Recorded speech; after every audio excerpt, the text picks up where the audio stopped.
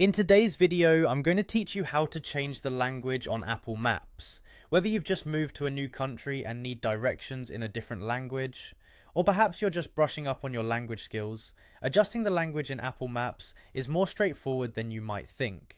In this guide, we'll walk you through each step of the process, ensuring you can navigate with confidence no matter where you are.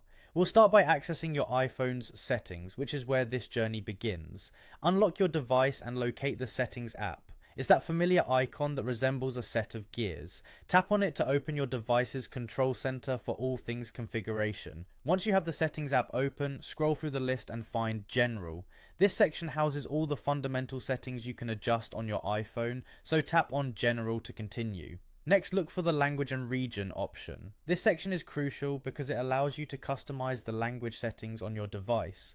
By selecting this, you can tailor what language your device and by extension, Apple Maps uses. Tap on language and region to proceed. Now, once you're in the language and region settings, you'll see an option labeled iPhone language.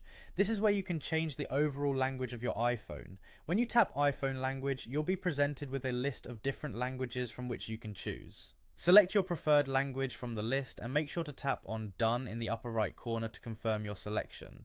Your iPhone will then prompt you with a confirmation message asking if you indeed want to change the language. Go ahead and confirm the change. Your device will take a moment to adjust to the new language settings. With the language set, the final step is to verify the change in Apple Maps itself. Exit the settings and open Apple Maps on your iPhone. You'll want to double check that the language settings have carried over to the app.